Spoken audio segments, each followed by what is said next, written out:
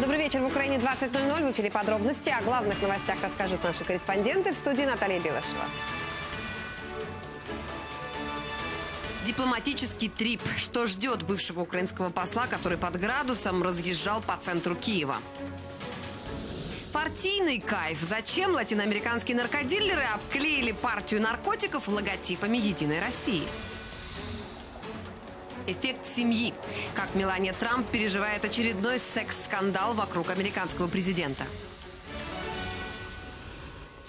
На Донбассе снова потери среди украинских военных. В результате вражеских обстрелов погиб один боец. По сообщению штаба операции Объединенных сил, боевики 39 раз открывали огонь по нашим позициям, в том числе и с применением запрещенного тяжелого вооружения. Все подробности знает Руслан Смещук. Треба їхати медленно, щоб не піднімати пиль. Як засічуть, тоді треба вже швидко їхати. Вначале на машине, а потом по окопам к самому краю. Это нулевые позиции между оккупированными Горловкой и Ясиноватой. Отсюда военные наблюдают за перемещением военной техники боевиков. Пока объявлено очередное перемирие, огонь не открывают, хотя стрелять здесь есть по кому. Вчора десь три Урали проїхали у сторону Горлівки. Тобто доповіли все по команді. Е, Ну, вони теж їздять не колонами зараз, а їздять в основному е, на відстані 200-300 метрів машина від машини. Якщо піде якась серйозна техніка, то ми перші вже знаємо, куди вона йде. Военные рассказывают, несколько дней назад активизировалась воздушная разведка противника. Зафиксировано достаточно активное перемещение вражеской тяжелой техники. Поэтому за боевиками наблюдают внимательно. По линии разграничения очень часто летают беспилотники. ДНР, может быть, готовятся до наступу, а возможно у них происходит ротация, потому что мы слышим гул военной техники уже дня три. Но и остается напряженная ситуация в традиционных горячих точках. Под Маринкой и Красногоровкой боевики не прекращают обстреливать украинские позиции. Работают как часы, говорят наши солдаты. Немає такого дня, щоб не було застосовано стрілецької зброї, крупнокаліберних кулеметів, автоматів проти наших військовослужбовців. Запалюють трейсерами е, поля біля наших позицій для того, щоб виманити наших хлопців, вийти гасити е, ці пожежі. Тут же накануне вражеской противотанковой ракетой подбили армейский грузовик. Один украинский солдат погиб.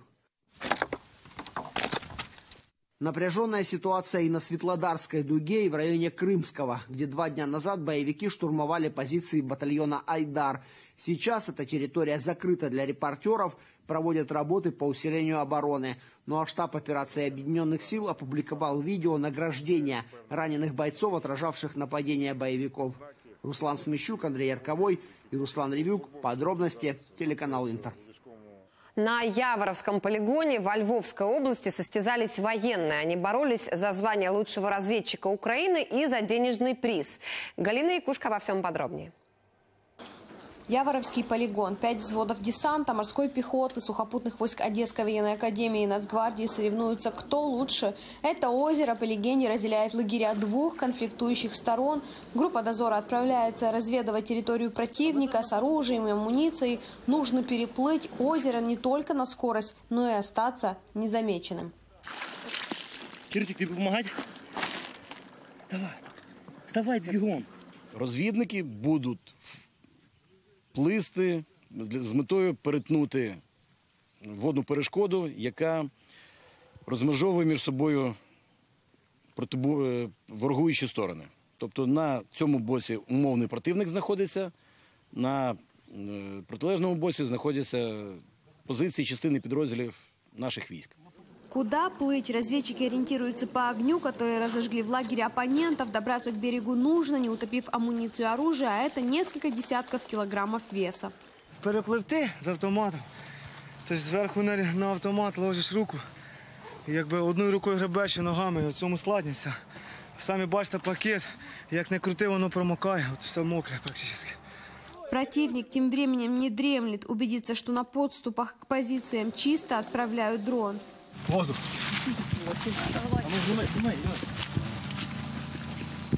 Остаться незамеченными – только одно из испытаний для разведчиков. На берегу условное минное поле. Уцелеть на нем удается не всем, есть раненые. часто тут сліва справа може бути. Треба бути більш убачившим. Це була розтяжка але на ефці, звичайній. Але то, що її встановили, дуже гарно її зробили під піском. Провірялась не одну міну на один тип мін, а виявилась інша. От. Тобто перехитрили. Часть разведчиков, которые принимают участие в состязаниях, уже не раз бывали на передовой, выполняли боевые задания, но здесь, говорят, получают иной, очень ценный опыт. Розумієте, е, краще на цих змаганнях перевірити, на що здатна група, е, нові способи подолання, пересування, нові зразки озброєння, нові способи виконання завдань, ніж на війні. Тому що на війні е, ціна досить висока. Тому е, краще тут визначити, на що група спроможна, аніж на війні. Кроме форсирования водоема, разведчиков ждали несколько типов испытаний, в том числе обустройство засад и корректировка артиллерии. Полученные навыки помогут им выполнять задачи на Донбассе, уверены командующие. По річці Сіверський Двінець е, йде лінія розмежування, і власне ми повинні тримати на готові підготовлених розвідників, які можуть бачити, чути і дізнаватися все, що потрібно для нашого військового командування. Четыре дня испытаний и лучшие военные разведчики Украины определены. Как бонус три команды победителя разделили между собой призовой фонд. Денежное вознаграждение состязаний составляет более 200 тысяч гривен. Галина Якушк, Юрий Голубинка. Подробности телеканал Интер, Львовская область. Реформы в Украине находятся под угрозой из-за возможного вмешательства в Москвы в предстоящий избирательный процесс в Украине. Такое мнение выразил президент Петр Порошенко в интервью Financial Times.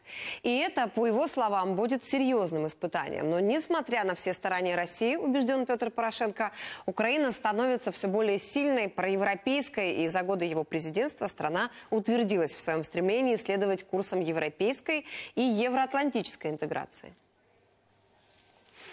В Америке готовятся к ноябрьским а, промежуточным выборам. Чтобы не допустить вмешательства и кибератак, представители Фейсбука, Microsoft, Google и Twitter решили провести закрытую встречу. Известно о ней стало изданию BuzzFeed. Это ин- инициатива отдела кибербезопасности Фейсбука. Компании хотят избежать ошибок, допущенных на выборах президента в 2016 году и предотвратить возможное вмешательство со стороны иностранных спецслужб. ПДД для дипломатов. Бывший посол Украины в США минувшей ночью в центре Киева был остановлен полицейскими.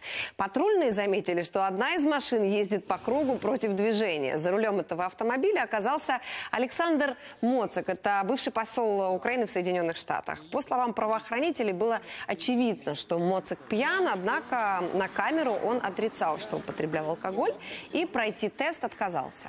Патрульные составили протокол о нарушении и эвакуировали автомобиль на штрафплощадку. Олександр Федорович, не закривайте з транспортним засобом. Дивіться, зараз Що ви тут це робите? Я оспорю ваші дії, і я виграю. Для того, щоб ви То, що ви незаконно мене зупинили. Для того, щоб ви оспорили, вам треба підписати протокол і отримати Я копію. Якщо ви не відмовляєте, підпишу ваш протокол, то, що ваші дії Ви від всього підпису є відмовляєте. незаконно. Одна женщина погибла, еще две были госпитализированы в Сумской области. В селе Спасское 19-летний парень врезался в толпу людей на мотоцикле. Травмы получила и 14-летняя девочка. Сразу после этого инцидента виновник ДТП сбежал с места происшествия, а прибывшие на место полицейские обнаружили фрагменты мотоцикла, по которым и смогли вычислить подозреваемого. Как оказалось позже, мотоциклист находился в нетрезвом состоянии и ехал с существенным превышением скорости. На одній з вулиць села е, побачили молодого чоловіка, який вів в руках мотоцикл. Транспортний засіб був з характерними для дорожньо-транспортної пригодами ушкодженнями, а сам водій знаходився у стані сильного алкогольного сп'яніння. Що стосується даного водія, він дає пояснення слідчим. Наскільки я володію інформацією, він говорить, що був п'яний, нічого не пам'ятає. Новая угроза в Прикарпатском Калуше. Почти половина домов здесь построены над заброшенными солевыми шахтами и пустотами. Сейчас многие здания стали проседать и осыпаться. Виной всему грузовой транспорт, который проезжает по городским улицам и создает сильные вибрации. Как уберечь дома, выясняли мои коллеги. Валерий Кирстя рассказывает, его дом трещит по швам. Фундамент начал резко проседать в прошлом году, когда отремонтировали дорогу и мост. Сюда хлынул весь грузовой и габаритный транспорт. Там є е, тріщина, на ній був маяк. Той маяк розійшовся, відпав. Фундамент тріщить таке саме з, то- з тої сторони. Коли машини тут важкогрузи їздять, то в нас ходуном ходить посуда в кредитці. От интенсивного движения рушится и дом Ольги Дмитриевны. Коли машини їдуть по дорозі, то звідти сипеться от, цегла. Цегла сипеться, падає. І не дай Бог, от вона. Не дай Бог, хтось в той час проходив і цегла по голові. Почти все дома на этой улице стоят на территории заброшенных соляных шахт. Из-за вибраций строения в любой момент могут уйти под землю. Можемо провалитися, тому що тут під нами пустоти. Ми теж боїмося. У нас діти, внуки, правнуки. Над пустотами проходит и отремонтированный мост с дорогой. Это хорошо видно на карте горных работ, которые когда-то здесь велись. Оці квадратики, що намальовані, це ціліки. А от між ними це все е, це всі е, порожнини. От рахуйте, порожна, цілік, порожна, цілік, порожна, цілік. Бачите, от до моста, де ми стоїмо, 16-15 камер. То все в порожнині. Над запрошенными шахтами стоит почти половина домов Калуша, и обвалы здесь не редкость. Только на этой улице под землю уже ушли шесть домов. Со дня на день может провалиться еще один. Там е, вона на кінці вулиці Вітовського, там взагалі провалився фундамент. З матеріалами під землю, 8 метрів під землю пішов. Люди не раз просили городские власти и полицию хотя бы запретить въезд грузовикам по этой улице. Правоохранители даже штрафовали водителей. Розумієте, цей штраф 250 гривень не сильно впливає на водія, він платить і їде далі по тій вулиці, не звертається увагу. Будемо проводити більш роз'яснювальну роботу, спілкуватися з водіями. Ну, я думаю, що цю ситуацію ми виправимо. Перекрытием отдельных улиц решить проблему кардинально не удастся, считают в мэрии. Ведь в зоне риска и другие районы города. В 2010-м Калуш признан зоной чрезвычайной ситуации. Сейчас более 600 семей проживают на территории, где проседает почва. Единственный выход – убрать транспорт из города, то есть построить объездную дорогу. Денег на это у города нет. Ми вже зверталися і до центральних органів влади, зверталися і до області про е, включення нас в, е, до е, державного фонду. Протягом вже багатьох років область нас в цьому питанні не чує. У нас є проект, який ми е, зробили за власні кошти. Просто, е, На сьогоднішній день вартість проекту це 54 мільйони гривень. Чтобы получить эти средства из госбюджета, областные чиновники должны были подать запрос в Киев. Но, похоже, и в нынешнем году этот вопрос не оказался среди первоочередных. Вячеслав Никифоров, Жанна Дучак, Зиновий Автонас. Подробности телеканал Интер, Ивано-Франковская область. А В Корсунь-Шевченковском ко Дню независимости обустроили новую спортивную площадку под открытым небом. Уличные тренажеры установили самые современные. Заниматься можно абсолютно бесплатно. Много ли желающих, видели наши корреспонденты?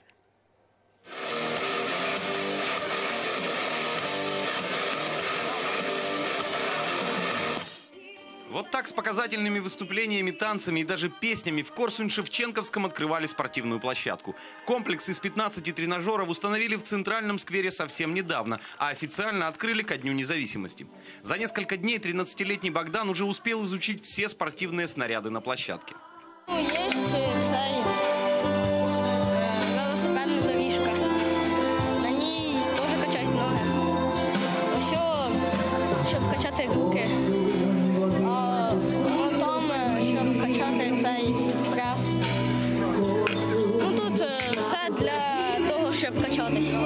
Эта спортивная площадка теперь доступна всем желающим горожанам. Едва заканчивается официальная часть, как комплекс буквально оккупируют десятки маленьких спортсменов. Среди них и дети нардепа Сергея Рудика. На открытие он приехал всей семьей. От бачите, я всією родиною приїхав. Іван, дружина Маріанна, Женька. Кожен ранок роблять зарядку. Не хочуть, але роблять. Є такий період, коли, коли треба стимулювати. Чтобы выделили деньги на строительство спортивного комплекса, нардеп посодействовал еще в прошлом году. Тогда Кабмин направил на благоустройство подобных площадок во всех райцентрах Черкасской области почти 5 миллионов гривен. Сергей Рудик уверяет, на этом останавливаться не собирается. Там, де це можу зробити я, я докладаю максимально зусилля. Але я запрошую своїх колег народних депутатів, депутатів місцевих рад. Включайтеся, щоб у нас не було жодного населеного пункту, наприклад, до 2020 року, де немає цього елементу. Депутат уверен, если задаться целью, все вполне реально. Андрей Кровец, Леонид Аборин. Подробности телеканал Интер, Черкасская область. Десятки культурных проектов и масштабное развитие украинского кино. Такие результаты принесла поддержка правительством отечественной киноиндустрии. В этом году Госкино запустило в производство 85 фильмов. Одним из самых масштабных проектов за последние 40 лет станет экранизация романа Ивана Франко «Захар Беркут». В прокат кинолента выйдет в 2019 году. На съемочной площадке побывал премьер-министр Владимир Гройсман. Глава правительства поблагодарил режиссеров за работу и заявил, что доволен результатами госпрограми. Та підтримка, яку ми розпочали робити декілька років назад, вона дає вже сьогодні е, абсолютно чіткий результат. Ми знімаємо прекрасне кіно. Це кіно має дуже високі рейтинги. Це кіно, яке залучає там десятки, сотні, мільйони українських громадян е, для того, щоб переглядати. І це я вважаю, що ще один напрямок, який ми можемо розвивати. Тим більше, що міжнародні партнери охоче е, беруть у цьому участь, і те треба тільки подякувати всім представникам кіноіндустрії за те, що вони насправді почали серйозно розвиватися. А з нашого боку вони мають фінансову підтримку. Депортация года. Из США в Германию экстрадировали Якова Полия, 95-летнего мужчину, который родился в селе Пядики, тогда это была территория Польши, а сейчас Украины, обвиняют в сотрудничестве с нацистами. Все подробности узнаем от Татьяны Лагуновой. Апрель прошлого года возле дома Якова Полия в Нью-Йорке протестуют учащиеся местной еврейской школы. Они требуют выслать из страны мужчину, которого обвиняют в сотрудничестве с нацистами. Он спокойно живет в своем доме, может спокойно ходить по улицам. Решение о его депортации принято, но он по-прежнему здесь. Ни одна страна его не берет. Это торжество несправедливости. Американского гражданства Полия лишили еще в 2003 году. Тогда у властей США появилась информация о его сотрудничестве с нацистами. Якобы эмигрировавший после Второй мировой в Соединенные Штаты Полий во время войны нес службу в нацистском концлагере Травники на территории оккупированной Польши и мог быть причастен к массовому убийству заключенных. Сам Полий в редких интервью все обвинения опровергал. Он утверждал, что его заставили служить нацистам и поручили охранять территорию возле лагеря, дороги и мосты. Депортировать Полия американские власти пытались 14 лет, так что сегодня высылку комментировали и в официальном Вашингтоне, и в Берлине. Белый дом распространил сообщение для прессы. В нем говорится, администрация Дональда Трампа послала мощный сигнал, что пособники преступлений нацистов не найдут прибежища на американской земле. От Германии высказался министр иностранных дел Хайка Мас, назвал депортацию моральной ответственностью немецкого народа перед жертвами Холокоста. Что ждет Полия в Германии, пока вопрос немецкие юристы ранее не раз заявляли. У них недостаточно улик, чтобы предъявить Полию обвинения и начать против него судебный процесс. Пока что мужчину доставили в дом престарелых возле города Мюнстер, где он, скорее всего, и проведет ближайшее время. Татьяна Лугунова, Геннадий Никеенко. Подробности немецкое. Бюро телеканала «Интер». Две тонны кокаина в упаковках с логотипом «Единая Россия» изъяли в Бельгии. Такой груз прибыл в порт Гент из э, Бразилии. Наркотик был расфасован в 1900 пачек, на каждой медведь и триколор. Весь этот товар стоимостью около 100 миллионов евро полиция уничтожила. Логотип не узнали, решили, что это тип наркотиков или бренд производителя. В пресс-службе «Единая Россия» отреагировали на этот скандал и заявили, что наркобароны таким образом маскировали контрабанду.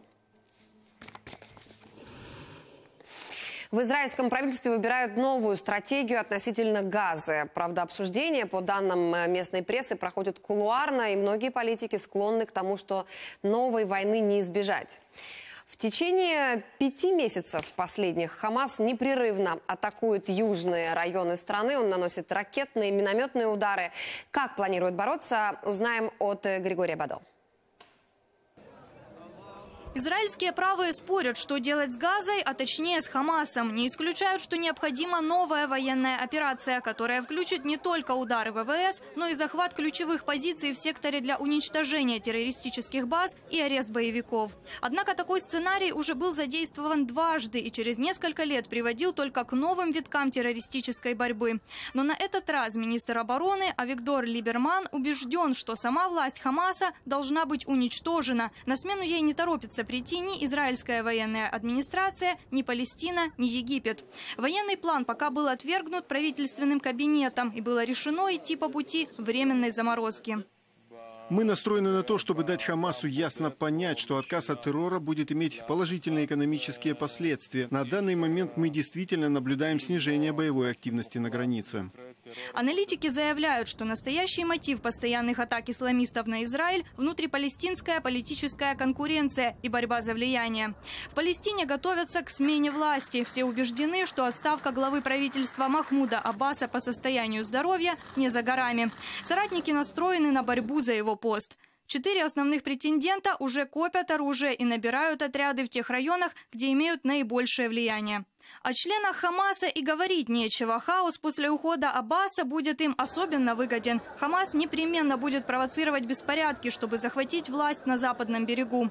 11 лет назад это было проделано в Газе. Тогда во время переворота были зверски убиты более 300 человек из Фатха, конкурирующей партии Махмуда Аббаса. Но все же в Израиле надеются, что после отставки Аббаса палестинцам удастся прийти к единству и не допустить Хамас к власти на западном берегу. Анна Филь, Григорий Бадо. Подробности телеканал Интер. США предупредили Россию, что могут нанести новый мощный удар по Сирии. По данным агентства Bloomberg, советник Трампа по нацбезопасности Джон Болтон предупредил об этом представителей Москвы на недавней встрече в Женеве. Оказывается, американская разведка получила информацию о возможности применения сирийской армии химического оружия, чтобы освободить территории, которые контролируют противники режима. В этом случае, решили в Белом доме, американцы не ограничатся нанесением ракетных ударов, ударов, а предпримут масштабные военные действия. Полтысячи человек отравились едой из Макдональдса в Соединенных Штатах. Причем среди заболевших жители 15 различных штатов и города Нью-Йорк. Все они покупали даже не гамбургеры, а вроде бы полезный, с виду безопасный овощной салат. Это выяснили в Американском управлении по надзору за качеством продуктов и медикаментов. Медики сообщили, что смертельных случаев не было, но часть пострадавших пришлось госпитализировать. По данным СМИ, 3000 закусочных сети Макдональдс в срочном порядке прекратили продажу салатов, и теперь компания пытается урегулировать проблему, чтобы избежать масштабных судебных исков. Последствия секс-скандала. По данным американской прессы, между Дональдом Трампом, Трампом и его супругой серьезный конфликт, а на публике они только имитируют хорошие отношения. Я напомню, президентский юрист накануне дал интервью, в котором рассказал, что его шеф платил отступные своим пассиям. Продолжит Дмитрий Анопченко. Это давняя традиция. Появляясь на публике, президент и первая леди держатся за руки. Если за ними следят телекамеры, то во время любого выхода в свет глава государства берет ладонь жены в свою руку, чтобы показать стране, они любящая пара, а значит, достойны доверия и подражания. Так всегда поступали Барак и Мишель Обама, их предшественники Джордж и Лора Буш, и даже Билл и Хиллари Клинтон. В разгар скандала с Моникой, когда первая леди была разъярена, она сочла своим долгом на публике поддерживать супруга. Дональд и Меланья Трамп тоже первое время следовали традиции, но сейчас пользователи соцсетей провели свое расследование и установили, имитируют. В последние недели постоянно появляются фото, на которых создается впечатление, что пара по-прежнему держится за руки. Но если снимок укрупнить, то становится понятно. Просто играют на публику. Пользователи соцсетей постоянно вылавливают такие фотографии. Каждый раз пальцы супругов едва соприкасаются, но ладони расположены так, что сторонний наблюдатель не заподозрит подвоха. В сети даже новый термин придумали, по аналогии со знаменитым выражением Трампа «fake news». Fake handshake – фальшивое рукопожатие – Журналисты, входящие в пресс-пул Белого дома, подтверждают эту информацию в соцсетях. Говорят, Меланья Трамп сейчас очень тяжело переживает скандал вокруг прежних увлечений мужа. Она человек, для которого важно общественное мнение, важно, что люди думают, и она очень сильно обижена. И сотрудники протокола Белого дома еле-еле уговорили первую леди хотя бы на людях все-таки делать вид, что они с президентом идут рука в руку. Ну а значит и живут душа в душу. Сумеет ли президент растопить лед? Скорее всего, приложит для этого все усилия, ведь на фоне многочисленных скандалов, разоблачений и расследований, которые бьют и по рейтингу, и по имиджу, ему очень важно сохранить семейную жизнь. Ведь в Америке образ счастливой первой пары – одна из составляющих успеха, если хочешь баллотироваться на второй срок. Из Вашингтона Дмитрий Анопченко, Юрий Романюк, Американское бюро телеканала «Интер». Папа Римский впервые за 39 лет прибыл в Ирландию. Сначала понтифик пообщался с президентом страны, затем в Дублинском замке его приветствовали премьер-министр и сотни верующих. Визит главы католической церкви проходит на фоне скандала с педофилией среди священников. Известно о таких преступлениях стало еще в начале 2000-х. Пострадавших сотни, в том числе и в Ирландии. Из-за этого на улицах Дублина папу Франциска встречали протестующие. Понтифик же пообещал искоренить эту проблему любой ценой.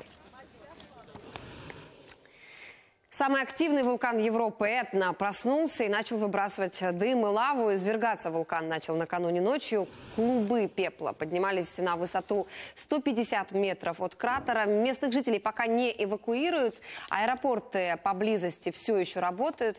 Этна – один из самых активных вулканов в мире. Небольшие выбросы лавы случаются здесь довольно часто. Но в этом месяце началась более активная фаза извержения. В Британии ввели наказание за кражу гальки с пляжа. В Финляндии соревновались в игре на воображаемой гитаре. Обо всем этом прямо сейчас. Секретный тоннель для контрабанды наркотиков из Мексики обнаружили власти США. Коридор соединял частный мексиканский дом и заброшенный ресторан КФС в американском штате Аризона. Вход был спрятан за кроватью в спальне. Длина подземного прохода около 180 метров и пролегал он на глубине 6,5 метров. В последнее время американская полиция фиксирует увеличение количества подземных тоннелей для переправки наркотиков через границу, при том, что обустройство подобного канала обходится в сотни тысяч долларов. Знаменитый французский актер Винсан Кассель женился на 21-летней модели Тине Кунаки. Кассель на 30 лет старше своей избранницы. Свадебная церемония прошла в кануне Бидарт на юго-западе Франции. Среди гостей были замечены режиссер Жилли Луш, актриса Лейла Бехти и Адель Экзаркополус, а также олимпийский чемпион по плаванию Флоран Маноду. Кассель начал встречаться с моделью еще три года назад. За несколько лет до их встречи Винсан расстался с итальянской актрисой Моникой Белучи. В британском графстве Корнуолл ввели наказание за кражу гальки с местных пляжей. Места там живописные, и тысячи туристов берут камешки на память. Однако местный совет, которому принадлежат 57 пляжей графства, бьет тревогу. Дескать, такая практика может привести к эрозии побережья. Один путешественник уже был вынужден проехать сотни километров, чтобы вернуть на пляж украденные камешки. В противном случае ему грозил штраф тысяча фунтов стерлингов. В один из отелей американского штата Колорадо наведался медведь. Произошло это рано утром. В холле гостиницы находились только сотрудники, которые записали на видео визит непрошенного гостя. Косолапый никого не тронул, побродил по холлу, вылез на стол, а после удалился во свояси. Администрация отеля разместила видео в Фейсбуке, уточнив, что это единственный случай, когда они позволили посетителю взобраться на стол. За сутки видео посмотрели более 700 тысяч пользователей. Китайцам пришлось выдавать себя за вьетнамцев, чтобы посмотреть любимый сериал «Тайны дворца Яньсы». Лента повествует о временах правления династии Цин. Первые 56 серий можно было посмотреть бесплатно на китайских ресурсах. А вот за последние эпизоды просили заплатить. Недостающие серии находчивые зрители обнаружили на одном из вьетнамских каналов. Но чтобы их посмотреть, нужно было подтвердить вьетнамское гражданство, а также признать, что спорные Парасельские острова принадлежат Вьетнаму. В Финляндии прошел чемпионат по игре на воображаемой гитаре. В этот раз в финале необычного состязания соревновались 15 участников со всего мира. Утверждают, для них, помимо любви к музыке, это еще и возможность поддержать себя в отличной физической форме. Победу одержала участница из Японии. Она начала свое выступление в образе скромной домработницы, которая под звуки музыки перевоплотилась в гитаристку хэви-метал. В качестве приза получила настоящую гитару. Это все новости на сегодня. Хорошего вам вечера. А вечер сегодня субботний. Не забывайте. До встречи.